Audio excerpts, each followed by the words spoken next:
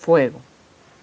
El 6 de noviembre de 1985, un grupo de la guerrilla del M-19 se tomó el Palacio de Justicia de Bogotá.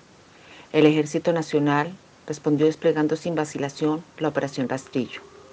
Su cruento ataque no se tuvo pese a las súplicas de cese al fuego de Alfonso Reyes Echandía, presidente de la Corte Suprema de Justicia.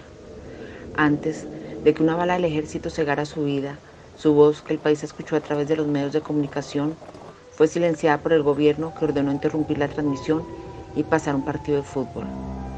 En la masacre que allí se ejecutó, murieron más de 100 personas.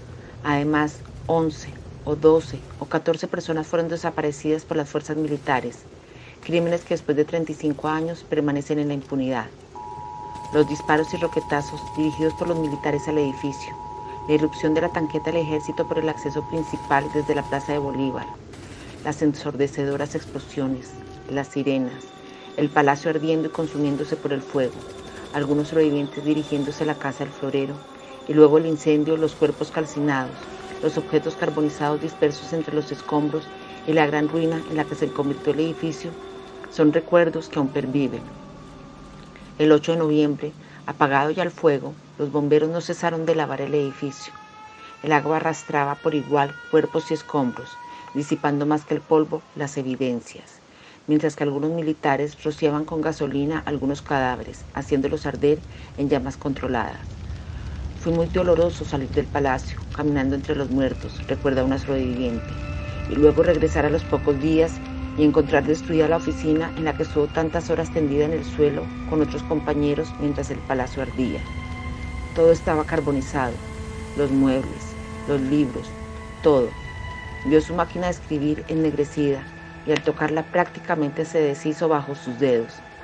Solo encontró, escarbando entre los escombros con ayuda de un palito, las llaves de su carro, que extrañamente estaban perfectas.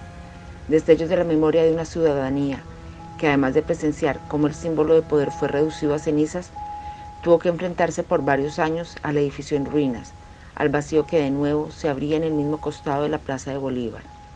El monumental palacio, destinado a la perennidad, mostró otra vez su carácter perecedero, aunque fuese concebido como una fortaleza inexpugnable, pues este edificio y la institución que había encarnado llevaban la impronta de la destrucción del anterior Palacio de Justicia, ubicado a pocas cuadras del actual e incendiado en el Bogotazo el 9 de abril de 1948.